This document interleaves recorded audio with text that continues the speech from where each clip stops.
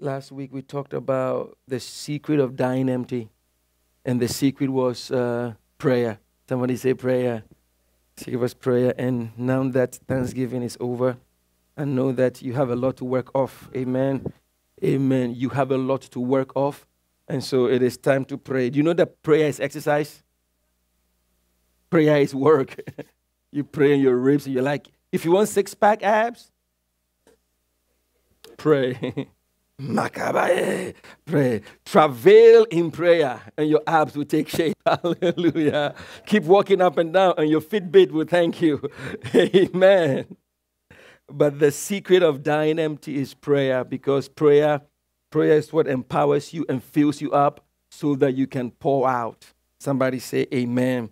And I, I, I just want to remind you of this that the greatest attack of the enemy against you is not the attacks against your body or anything. The greatest attacks of the enemy against you is the attack against your prayer life.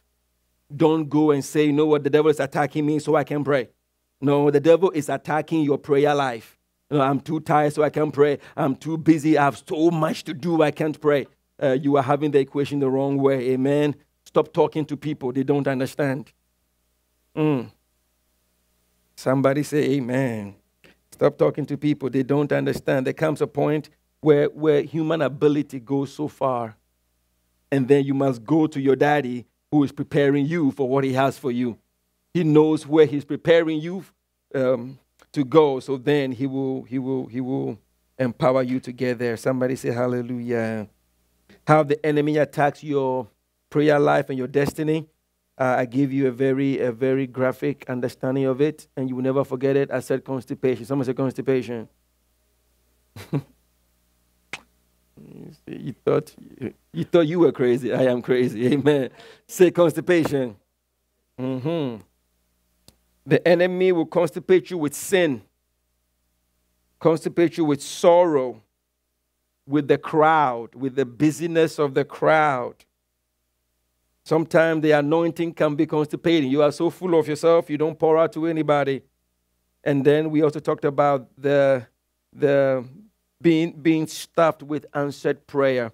If there's one thing that I, I see in my life and the life of many believers, the moment we begin to see the breakthrough of God, we slow down the moment we begin to see the answered prayer from yesterday being manifest, we slow down, like, okay, everything's good, let's chill now. Um, but when you have great vision, you keep praying. When you live for the moment, I got my, I got my answered prayer. Why pray again? But when you are living for beyond answered prayer and going towards what God has for you, then you know that I have received one of a thousand answered prayers. I need to keep praying in order to see the manifestation of the answered prayers that God has for me. Amen. So when you have vision, you don't stop praying, you keep praying, and that is the way you will fulfill your destiny and die empty. Somebody say amen. Today, God's word for you is dealing with tares that tarry. Got to say it right. Because in Africa, we say dealing with tear that tarry. Amen. Hallelujah. A tare is a weed, right? Tares are, or, or weeds in the Bible. And many of us deal with, all of us deal with this. So this message is not for your neighbor. Say it's for me. Amen. We all deal with, with tares in our life. You know, Bible says that God made man perfect, but man has gone after his own devices. So God made us perfect. He put everything in place. And then we're like, God, this is too good. And so I'm moving on. Mm, and then we found sin, and then we entertained sin, and then we, we, got, we, got, we got caught up in sin. Or uh, you are experiencing the pain of somebody's disobedience.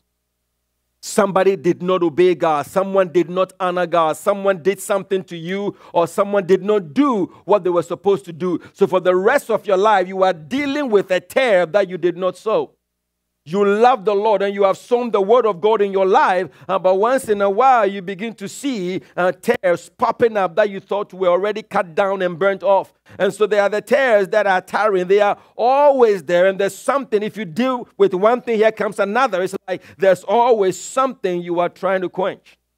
And many believers can get very frustrated with this I am saved? Why am I going through trouble? Um, but Jesus did say that in this life you will have trouble. Trouble is not, is not the absence of the anointing. Trouble is not the absence of, of you walking with God. Trouble is not necessarily always about disobedience. You can be walking with God and sweet in the anointing and have trouble come your way.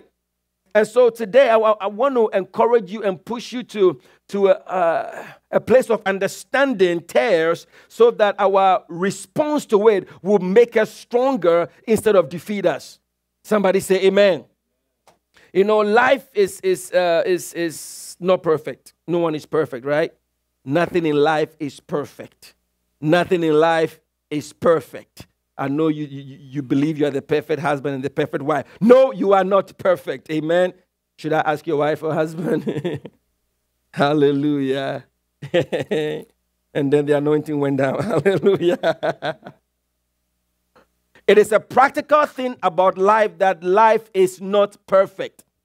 Christians, we were promised at the, at, at the altar that the day you give your life to Jesus Christ, everything is gone away. You are now free of the woes of life. You're like, that's a great deal. I want that. And then in the first six months, you were on a supernatural high. Or, I mean, everything was just going higher and higher. And then God said, it's time to grow up. And the devil said, Oh, really? And then you're like, No, no, no, no. Um, this is not what I signed up. for. Well, they lied to you. Somebody say amen. The walk of life naturally is not perfect. It is not perfect. It is not perfect. Somebody say amen. Now, your spirit is made perfect, but your flesh is not. So, the very combination of those two, a negative times a positive, is a negative. There's always something to work out. Somebody say amen. Let's not get it twisted that because we are in Christ, there'll be no tribulation. And don't get it twisted that when somebody is going through a tribulation, and that means that they are less anointed than you. The idea, oh my God, they're always going to. Do you know what God is working through them? Do you know what God is processing them through? I mean, Jeremiah would have been the, the, the most sinful and the most the most uh, disobedient man of God. He was called the weeping prophet. He was always crying about something. David, why so downcast, oh my soul? Put your hope in God. I mean, he was always being chased around.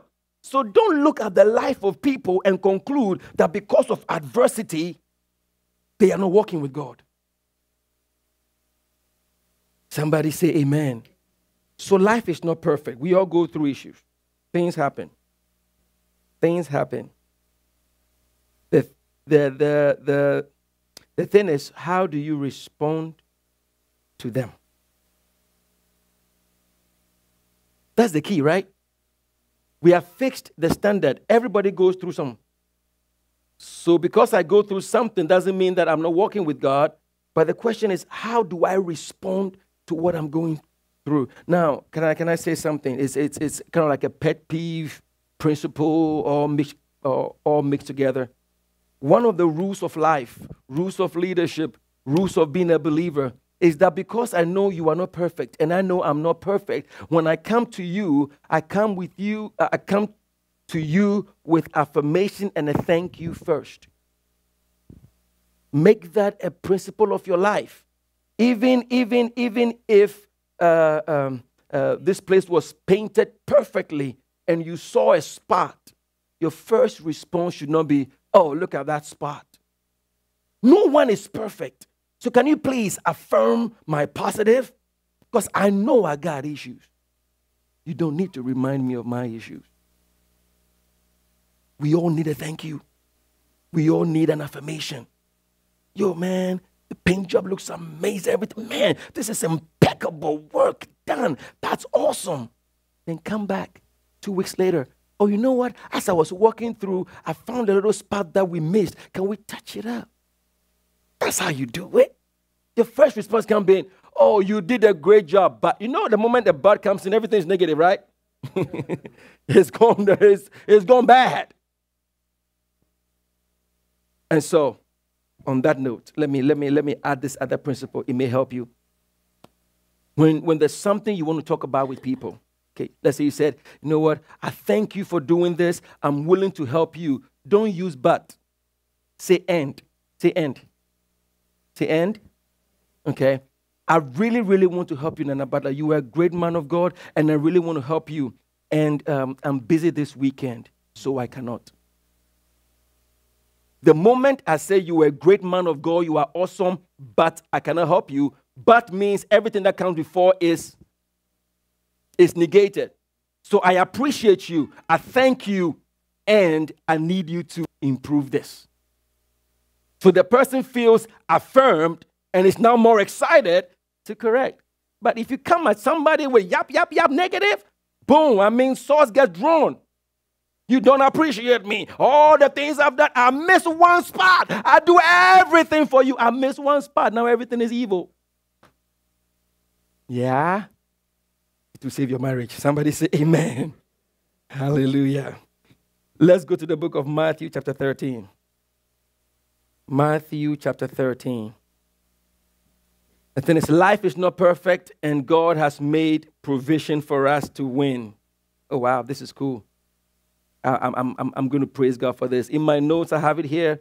Life is not perfect, and, I'm, and, and God has made provision for us to win. I have made it such a principle of my life that even without knowing, I put end. Because I could have said, life is not perfect. And by God, I know life is not perfect, and God has made provision for us to win. Both are correct. Somebody say amen. Matthew 13, verse number 24. Bible says that another parable he put forth to them, saying, The kingdom of heaven is like a man who sowed good seed in, in his field. But while his men slept, his enemy came and sowed tares among the wheat and went his way.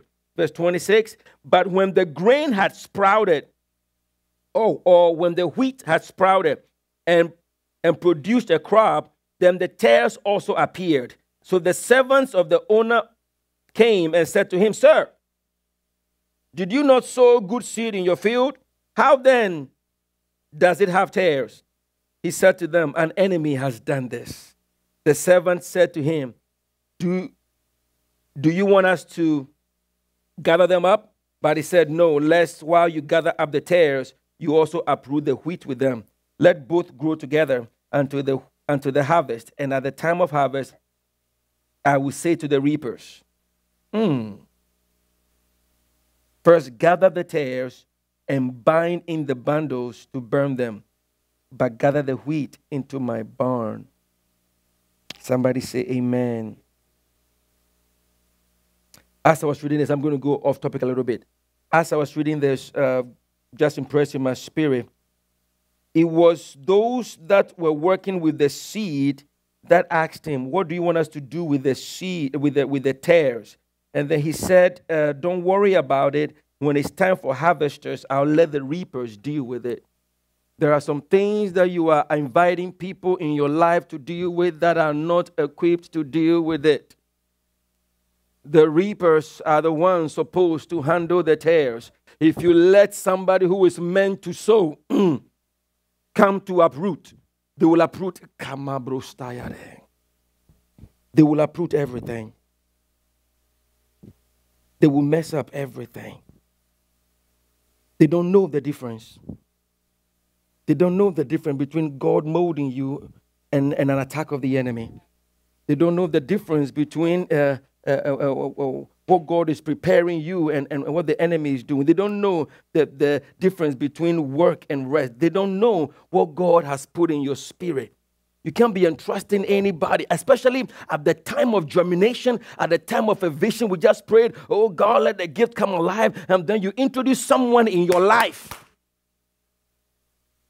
thinking that they will bring peace, thinking they will deal with their tares. They don't know because they all look the same. Be careful who you invite into your life. The reapers will deal with them, the reapers will deal with the tares.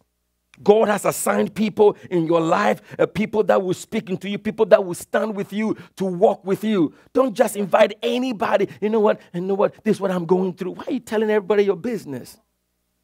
This is what I'm going through. This everybody knows your business, but you think it's a secret. It is no longer a secret if two people know it. Not even one, not even three.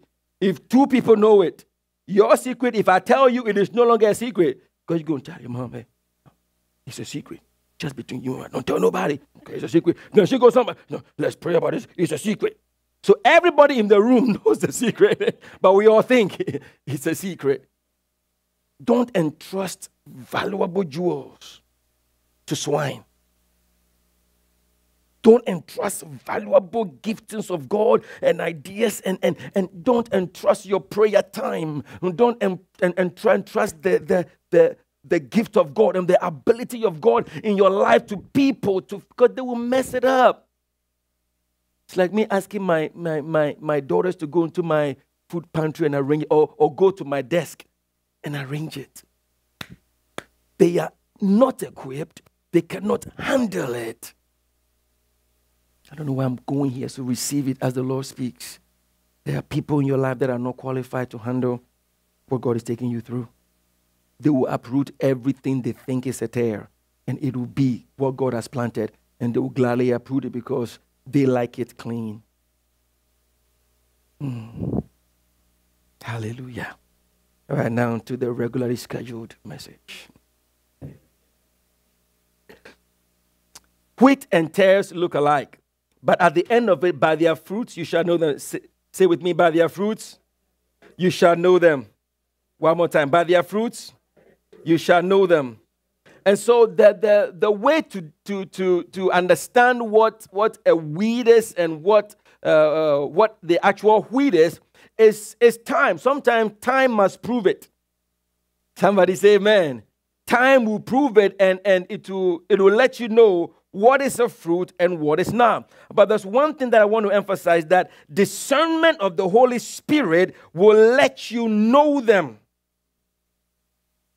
Discernment of the Holy Spirit will let you know who is with you and who is not, will let you know who is right and who is not. That's why you cannot, again, be constipated by the crowd because too many people talking, you cannot hear um, the Spirit of God. Discernment of spirit is so important.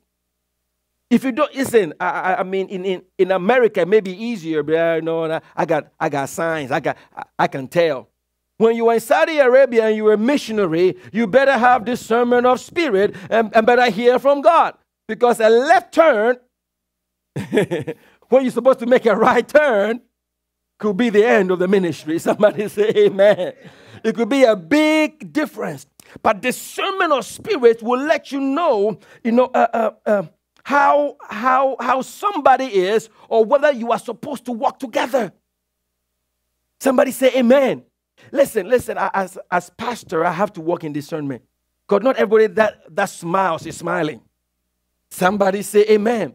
And, and, and, and, and even though, and this is, the, this is the second part of it, even though you can tell by discernment who is and who's not, doesn't mean you whoop out the machete and start chopping things off.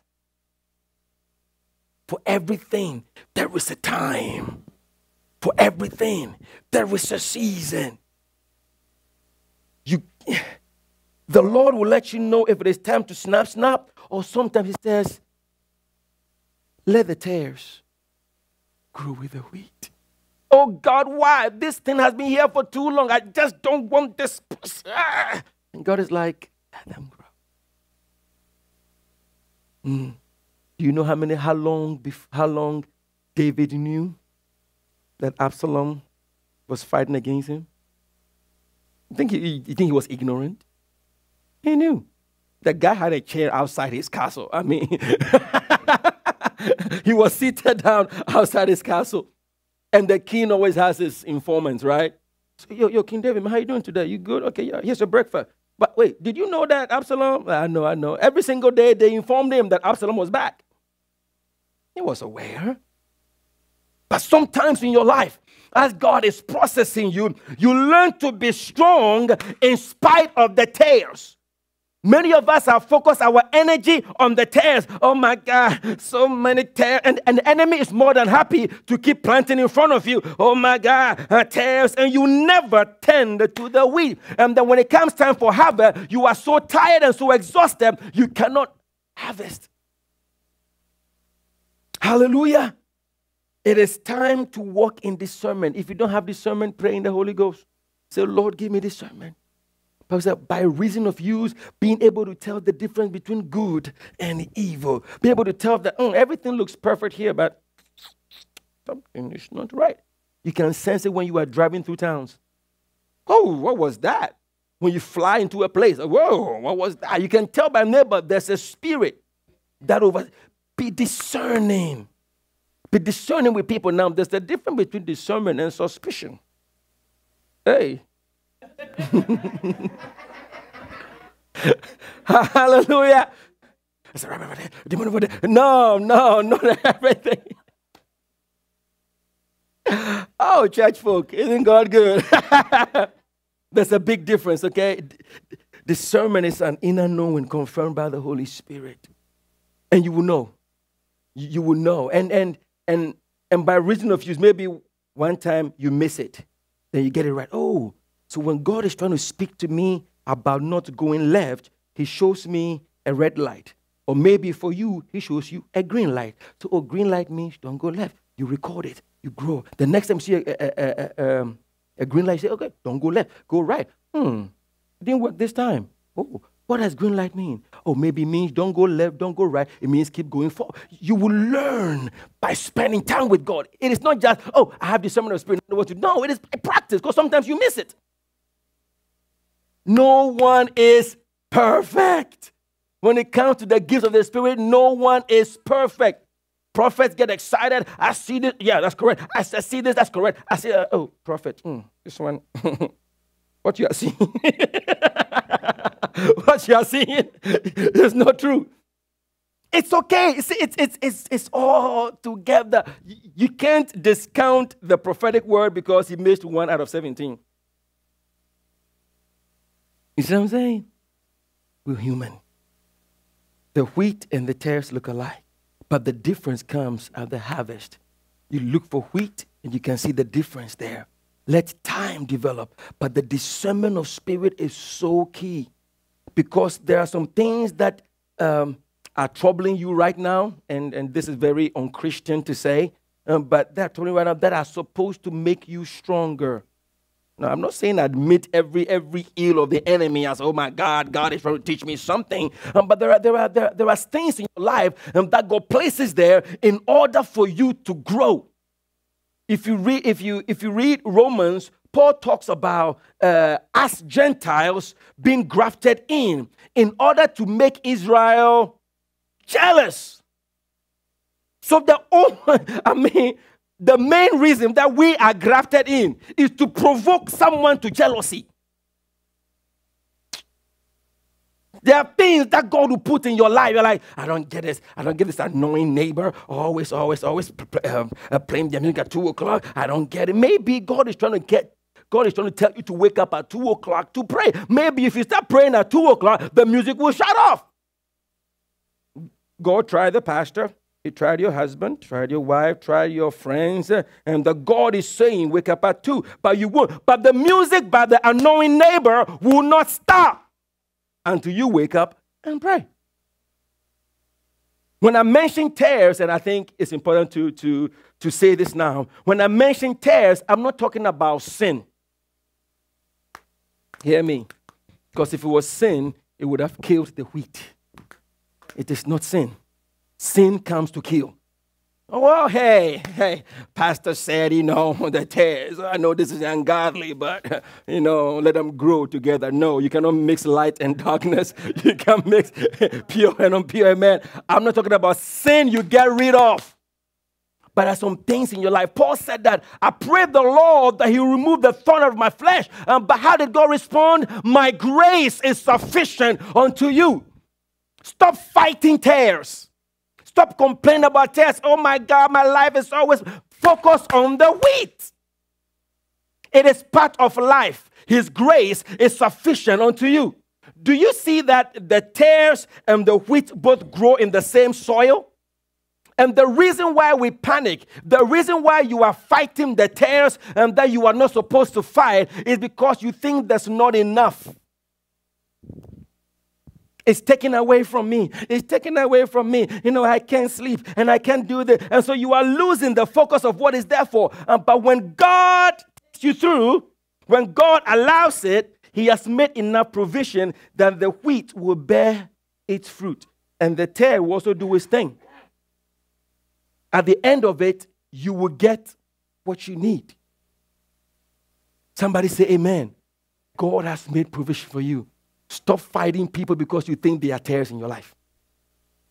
Oh my God, that new person they hired at the job. Uh, mm. Because you all think now, now the person has favor with the boss or they are going to take your place. And so now you start fighting them. Why don't you do better? Even, even, even, even better. Why don't you begin your own business? Maybe that's what God is trying to tell you.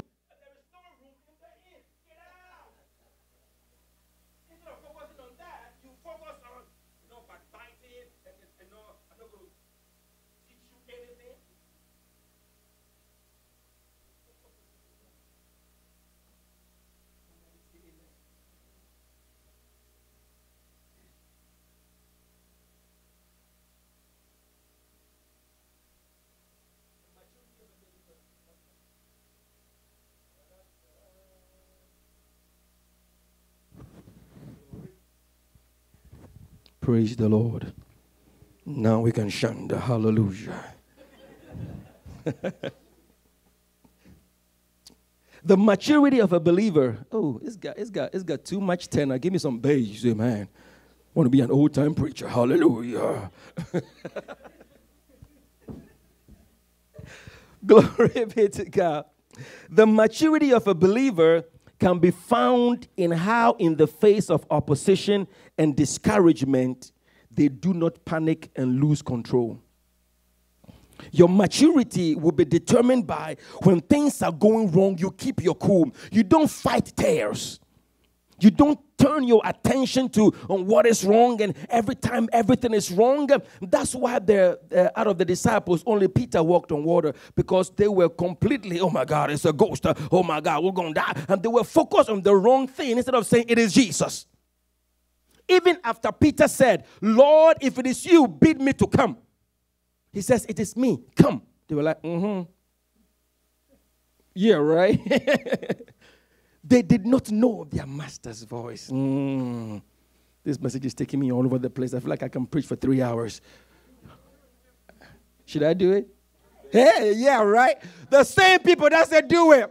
Pastor! 1202. Mm.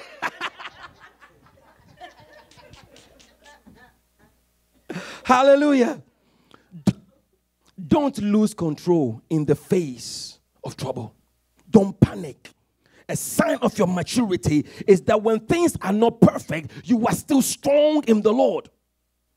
Those who panic are those who are afraid that the tares are going to take all the nutrients from the ground and choke me out. No, no, no. You will not choke me out. Come on, welcome. Come, come, sit.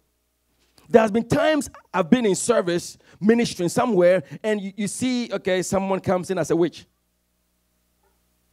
What are we going to do? All right, everybody get up. Release your fire that way. No, you can't do nothing. You are a tare. See, there comes a time to deal with it and a time not to deal with it. You just don't go crazy. Oh my God, there's a witch in this place. Where's the anointing oil? Oh my God, I receive it and go. You don't do that. Calm down. You got the Holy Ghost. This is the house of God. Daddy is in charge. Don't panic when things come into your life as tares uh, and feel like you are out of control. Just rest in the Lord. Somebody say, Amen. Rest in the Lord. Let the Lord be the one that empowers you through it, but don't panic. Somebody say, Amen. I'm saying this because you had tares in your life. You have tares in your life right now, and you will have tares in your life. Because the tares did not come out until harvest time. And he said, and the kingdom of God is as this, right? That's talking about the church and Christ coming for his people. So until Christ comes for us, until the harvest time where there's a separation of the wheat from the tares, you always have a tare around. Is that okay? It is a matter of fact. It is the truth. You can change it. What you must do is now begin to be strengthened of the Lord. And don't panic when things don't go your way. Don't, don't, don't panic when things are introduced in your life that, that throws a wrench into it. No, no, no, it's okay. It's okay. We got this. Holy Ghost, turn around. He's the Alpha and the Omega, the beginning and the end. He knows all things. He is all powerful. My daddy got this. It is well. I don't have to be afraid because Jesus is in control. He has made room for it. He, he is the one that agreed and said, Let the wheat and the tares grow together. If that's what He wants, let Him do it. But one thing I know is that I will have everything I need, and nothing I need will be taken away from me. Somebody say, Amen. John the John the Baptist said, A man cannot receive anything unless it is given to him from above the day I caught the revelation and that the man cannot receive anything unless it is given to him from above. I'm like, why am I fighting? Why am I fighting? My begging and my scratching is not going to make God give it to me. But when God gives it to me, no one can take it from me. So do your worst. Do what you got to do. I mean, yell, backbite, lie about me. Do, yeah, you're a tare. You're supposed to do that. But that does not make me panic that has to move me. I am rooted and I'm grounded in Christ. Somebody say amen. The second thing I want you to know is that, uh, and I mentioned that they grow in the same soil.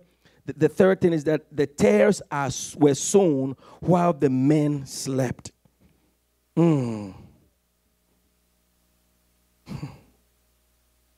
the tares were sown while the men slept. And, and I, I can give you I can give you a very spiritual answer right now. Thou shalt not sleep. It is important for you to be awake, uh, be alert, uh, because your enemy uh, is rolling around like a lion. don't sleep. but, but, but the practical thing about life is that you're going to sleep. you need sleep. you will sleep. Stay awake for eight days. Eventually, you will sleep. And, and the revelation God wants us to get from that is that the enemy attacks during regular, normal day hours. The devil doesn't only wait till night to attack, uh, to, to, to, to attack you. He, he attacks every single day during your normal life. A flat tire, you are awake. He didn't wait till the evening, sneak into the backyard. You were driving. You were praying in tongues actually on your way to work you have a flat tire. So what? Fix it. Don't panic. Fix it. The enemy attacks us, tares are sown, um, but it happens during every single day of our life. Let your confidence be in God. That's what God is telling us today. That things will happen. It is part of life to have issues, uh, but I am not moved and I'm not worried. I celebrate and I laugh and I smile and I rejoice always because what can man do to me? See, you are you are you are upset at people for not acting right, as if people act right. You are upset at the world. Oh my God. Oh, this uh, this this country uh, and politics uh, and look at the global things uh, that are going on. Like you spend so much time yapping about that, but you don't pray. You are complaining about tares instead of working on wheat. Why don't you answer the cry of the Lord? The harvest is plenty, but the laborers are few. Why don't you answer that answer, I mean, that question, instead of complaining about the world going bad? Because the world will get worse. It will get worse. So none of your political action and yapping and complaining is going to change anything if you're talking about tares. But if my people who are called by my name will humble themselves, seek my face, turn from their wicked ways. Then will I hear from heaven and I will heal the land. There are tares the enemy will place in your life that will just distract you from the focus of God. Somebody say amen. And the enemy attacks, like I was saying earlier, every normal part of life. Always. So don't be afraid of him. Somebody say amen. Don't be afraid of the enemy the maturity of a believer, The maturity of a believer can be found in his or, or her ability to not waver at the signs of trouble. And here's the key part and keep going on. Some people park when things go bad. Eh. Stop. Jesus, time out. We can do this right now. We got a situation to deal with here. You spend three months, four hours, 10 days dealing with that situation instead of going on with Jesus. You stop. Don't stop. Don't stop. Don't see when you realize that tares are part of life, it's like that traffic light you you drive through every day. It's red every day. Okay, go on. Don't stop because of a tare. Don't stop because someone did something. Don't stop. Just keep pressing on because if it is not that light, it will be another light. Somebody say amen. Christians, I know, I know, want to work in the in the in the prosperity and the increase and the glory unto glory. Eh, but part part of life is trouble. Part of life is the tares. And if you if you allow the tares to slow you down, then you don't even need to fight any spiritual battle. The devil has won. If tares alone in your life can shut down you, then then forget about praying because you already shut down but the things that everybody goes through. But the situations that everybody faces when they are asleep, when they are awake, it, it is part of life. So don't be shut down by the tares of the enemy. Don't be shut down. Somebody say amen. Hallelujah. Hmm. Hear this, church. The tares stayed unto the end. Did they not? verse number 30. Let's go there. Verse 30. Let both grow together until the harvest. And at the time of the harvest, I will say to the reapers, First gather together the tares and bind them in the bundles to burn them, but gather the wheat into my barn. Somebody say, I rejoice in my salvation. Say, I rejoice in my salvation. Say it again I rejoice in my salvation. I do not fear the wicked. I do not fear what happens around me. I rejoice in my salvation. As a believer, I want to encourage you today and um, that, that tares may tarry and tares may be there, but but I rejoice in my salvation. You see, because they are supposed to be there, whether they are there or not, I don't care because it is, is them. They should do what they do, um, but I rejoice in my salvation. I rejoice in my salvation. I rejoice in my salvation, that the joy of the Lord is my strength. I because at the end of it, um, the tares are going to be separated and burnt, uh, um, but I'm going to go on with my Lord. Uh, and so I'm not going to let them stop me from getting to harvest. Don't let problems and situations in life keep you from getting to harvest, keep you from bearing fruit. Bible says that and some of the seed fell among thorns you realize that this is different. The one that fell among thorns was seed that was thrown into thorns. But what Jesus is talking about here is that you were planted and rooted, and then the tares came. Whose house is it?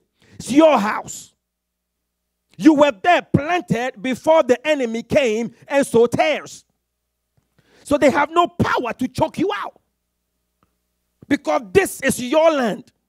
When the seed were put into thorns, the thorns were already growing. The cares of this world choked it out.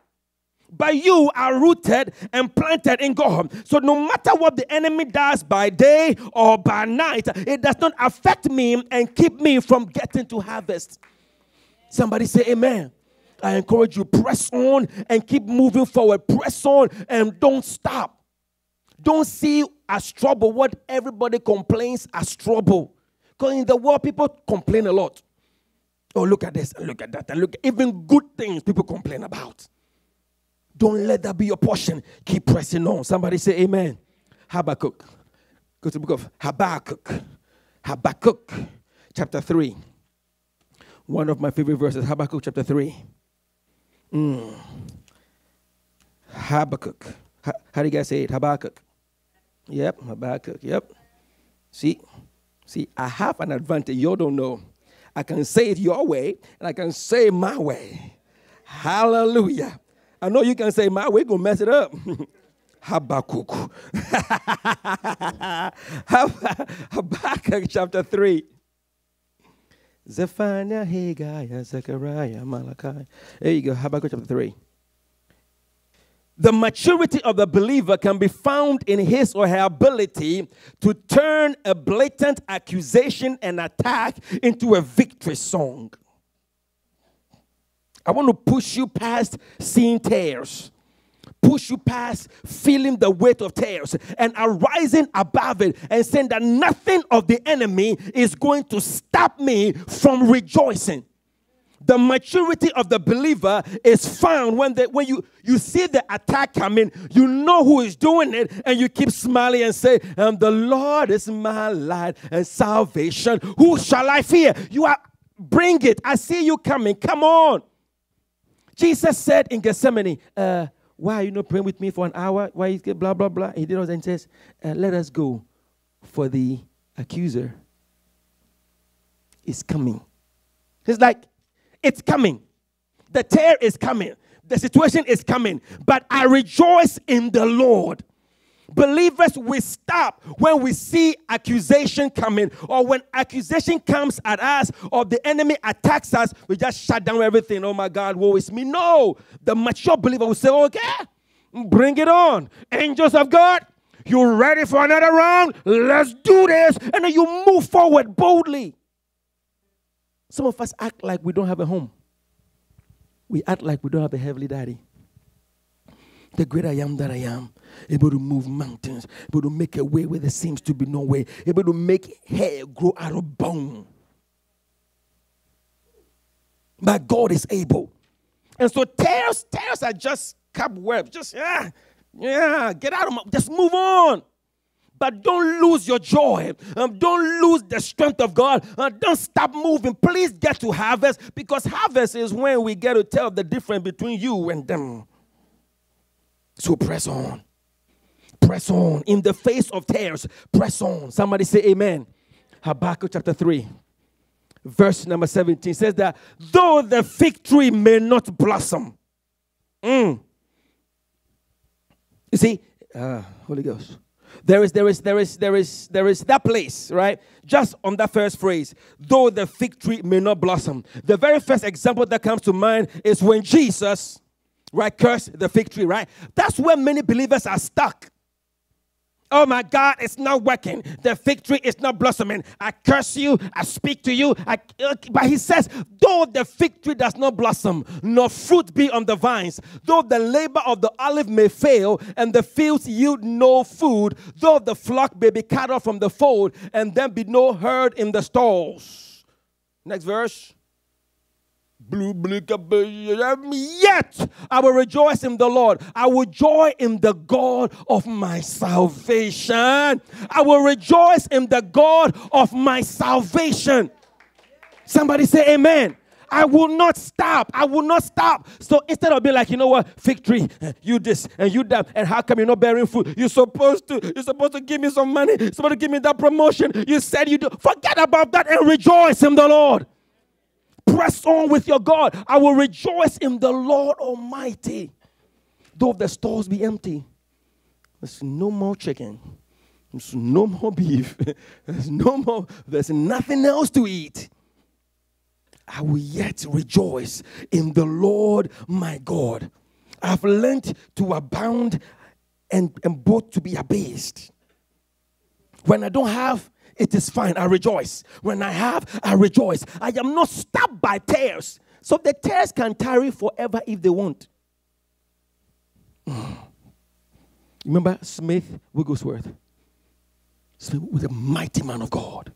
Healing, legs growing. But you know he had a serious kidney issue. Whilst he's preaching, he has to go to the bathroom and change himself because blood. So, how can God, you have called me uh, to heal the sick and transform lives and bring the healing power by myself? His daughter had a hearing problem, had to use a, a hearing horn to hear him preach. If you park at the kidney issue, if you park at God, why don't you heal my daughter? I'm not going to preach anymore unless you heal my daughter. If you park there, you will not do anything for God. Situations come in life. Stop making it seem like yours is the worst ever. Oh my gosh, I can't believe. Listen, there is no temptation that has come to you that is not common to man. but the Bible says there's nothing new under the sun. So be encouraged. Don't let tares stop you. Don't let tares stop you. Don't let the things the enemy puts in your life stop. There will come a time. Bible says that do not be weary in well doing. For in due season you will reap if you don't lose heart. This in due season always comes. Harvest time will always come. Listen, let your problems come with you. Let them come. Right? God will take some away, God will let some grow. It's okay. But when we get to the Red Sea, we're going to see who we're going to cross. Egypt may chase you. Oh my God, here comes Egypt, we're going to die. Moses, look what we did. But little did they know that at the Red Sea, they were going to cross and Egypt will stay. At the point of harvest, the weeds will be burned and the fruit will come alive. At, at the harvest time, at the maturity of your gift, at the fullness of your obedience, man, God. Because God will put somebody in your life and you're like, God, this is cruel and unusual punishment. Why are you doing this to me? I have served you all my life. They don't appreciate me. They don't like me. Look, Lord, I am serving you. Why? But listen, at the point of your obedience, when your obedience is full, at the place of maturity, God will reward you at the place of maturity, God will reward you. So stop complaining about the person or the situation and just keep focusing on God and keep rejoicing and keep moving forward. The tares will not stop you. Somebody say amen. If anything, let them make you stronger. Let them challenge you. I like gardening, right? And my, I have my fence, my, my plants at the fence. I have, I have the bottom covered, but at the fence. I realized that the plants that were at the fence grew taller. You know why? The fence is like, oh, really? Huh? Oh, really? Huh? There is that thing going on. They are looking for sunlight.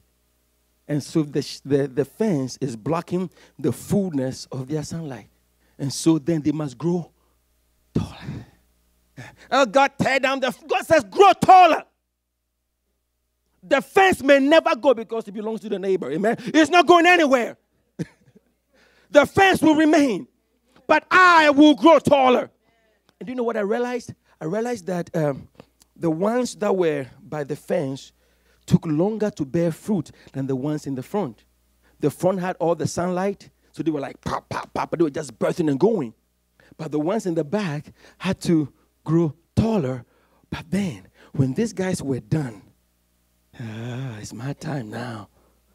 Listen, due season will always come. I serve a God that is too good to abandon me because of a tare. I serve a God that is too good to, to, to just leave me and say, oh, well, sorry. No. And the tares may come from daddy, from mommy, from your cousin, and from work, from whatever. But it doesn't matter where it comes from, my God will deliver me. Many are the afflictions of the righteous, but the Lord delivers him from them all. Listen, put some dancing in your feet. Where is your victory song? Where is your victory dance? And that in the face of adversity, you are like, It's on, Jesus, it's on. Let's do this. If I could dance, I'll dance, but I can't dance, I can't jump up. Amen. It's called the the Pentecostal pogo stick. Amen. Don't let it stop you. Make it a dance. I had a sign in my pastor's office that said, if you stumble, make it part of the dance. When things come your way that want to slow you down, get stronger. Let me give you this example and then I'm going to let you go when you go to the gym, right? Life is like a gym. You go there and you can live like 20 pounds, right? There's always that guy, right? Last time I went to the gym, I saw this guy, man. Like, I bet you had like 600 pounds here, a thousand pounds. Like, Whoa! I'm like, dude, it is not that serious. it is not that serious. Unless you are going to a hand like a physical combat with your name. Okay. it is not that necessary, okay? But if all you can lift is 15 pounds, okay? You lift it. And somebody comes around, the enemy comes around and sows a tare and puts 10 pounds, 10 pounds. At first, what do you do? Oh my God, oh my God. But when you press through, the enemy adds more. Who's getting stronger? So don't fight the attacks of the enemy.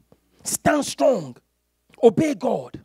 The Lord will repel. Obviously, we contend in faith and prayer and all that. But I'm saying that in your emotions, don't park there. Don't complain about what's coming at me. Eventually, the, the enemy realized that every time I throw a tare at him, gets stronger. I throw a tare in her life. She prays more, she gives more, she worships more, she dances more. This is having the opposite effect that I intended. I'm out.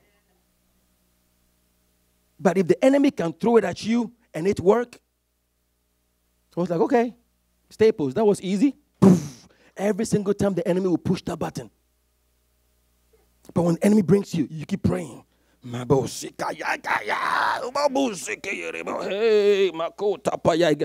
Bring it on. Then realize you're cut, you're strong in the Lord, and the enemy's like, uh uh-uh, uh, that's not what I want. So tares will come in your life, issues will come, but I will rejoice in the Lord. I will rejoice in the Lord because my God is great, my God is powerful. My God will not let, I believe that my God will not punish me for someone's foolishness. Somebody needed to hear that. God will not punish you because of someone's foolishness. Some people may, may do things, may disobey God, and put you in a situation with tares. But it's all right. Your daddy is a vine dresser. Your daddy, he's got you, man. He's got you. It's just a tare. Just, just, just trust in him. Believe in